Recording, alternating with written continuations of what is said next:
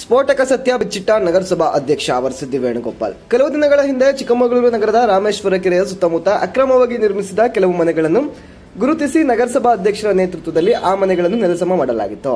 ಈ ವಿಷಯವು ಕೂಡ ರಾಜ್ಯ ಮಟ್ಟದಲ್ಲಿ ತುಂಬಾ ಸುದ್ದಿ ಮಾಡಿತ್ತು.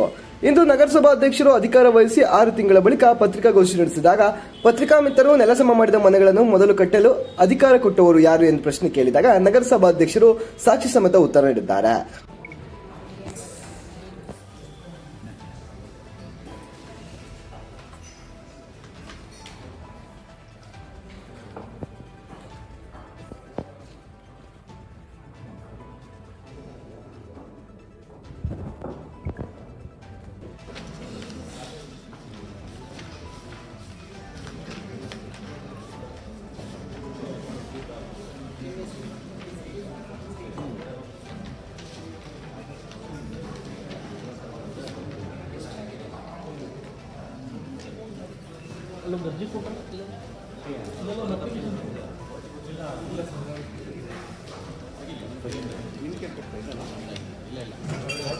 ಮನೆಗಳನ್ನು ನೆಲಸಮಗೊಳಿಸಿದ ಸಂದರ್ಭದಲ್ಲಿ ಮೂವರು ವ್ಯಕ್ತಿಗಳು ಬಂದು ನಗರಸಭಾ ಅಧ್ಯಕ್ಷರಿಗೆ ದೂರು ನೀಡಿರುವುದು ಹಾಗೂ ಅದರಲ್ಲಿ ಅಶ್ವಿನಿ ಎಂಬುವರು ಸೈಯದ್ ಅಹಮದ್ ಎನ್ನುವರಿಗೆ ಒಂದು ಲಕ್ಷದ ತೊಂಬತ್ತು ಸಾವಿರಗಳನ್ನು ನಿವೇಶನಕ್ಕೆ ಕೇಳಿರುತ್ತಾರೆ. ಹಾಗೂ ಈ ಹಣವನ್ನು ಒಂದು ಮಸೀದಿ ಅಕೌಂಟ್ಗೆ ಜಮಾ ಮಾಡಲು ಹೇಳಿರುವುದು ಸಹ ಈ ಸಮಯದಲ್ಲಿ ಕಂಡು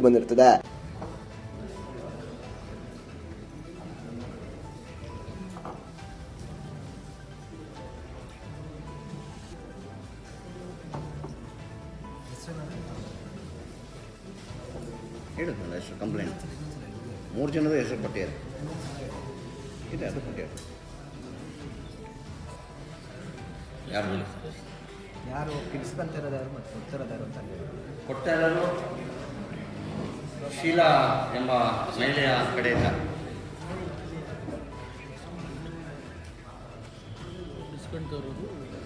ಬಿ ಬಿ ಅಪ್ಸುರ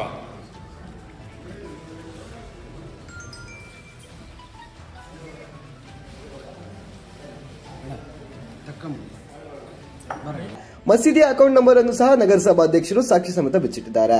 ನಂತರ ಅಕೌಂಟ್ಗೆ ಹಣವನ್ನು ಜಮಾ ಮಾಡದೆ ನಗ- ನಗದು ರೂಪದಲ್ಲಿ ಕೈಗೆ ತೆಗೆದುಕೊಂಡಿರುವುದು ಕೆಲವು ಫೋಟೋಗಳು ಸಹ ದೊರೆತಿದೆ. ಏನೋ ಮೂರು ಜನ ನಮಗೆ ಶೀಲಾ ಅಶ್ವಿನಿ ಲಕ್ಷ್ಮಿ ಅಂತೇಳೇನು ನಮಗೆ ದೂರನ ಕೊಟ್ಟಿದ್ದಾರೆ. ನಮ್ಮ ಹತ್ರ ಹಣವನ್ನು ವಸೂಲಿ ಮಾಡಿ ನಮ್ಮ ನೀವು ಮನೆ ಕಟ್ಕೊಳ್ಳಿ ಅಂತೇಳಿ ಜಾಗವನ್ನು ತೋರಿಸಿದ್ದಾರೆ ಅಂತೇಳಿ ದೂರನ ಕೊಟ್ಟಿದ್ದಾರೆ.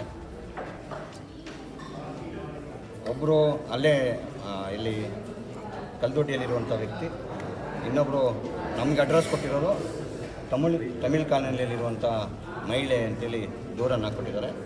ಅವರಿಗೆ ಕರೆಸುವಂಥ ಕೆಲಸ ಮತ್ತು ದೂರು ಕೊಡುವಂಥ ಕೆಲಸ ನಗರಸಭೆ ಮಾಡುತ್ತೆ. ಯಾರೇ ಸಾರ್ವಜನಿಕರು ಹಣವನ್ನು ಕೊಟ್ಟು ಕಳ್ಕೊಳೋದು ಬೇಡ ಅಂತೇಳಿ ಸಾರ್ವಜನಿಕರಲ್ಲಿ ಮನವಿಯನ್ನು ಮಾಡ್ತಾರೆ. ಗೊತ್ತಿಲ್ಲ ಅಂತ ಹೇಳ್ತಾರೆ. ಒಂದು ಆತಂಕದ ವಾತಾವರಣ. ನೀವು ಹೇಳ್ತಿರೋ ಹಣ ತಗೋತಾರೆ ಹಣ ವರ್ಗಾವಣೆ ಆಗುತ್ತೆ.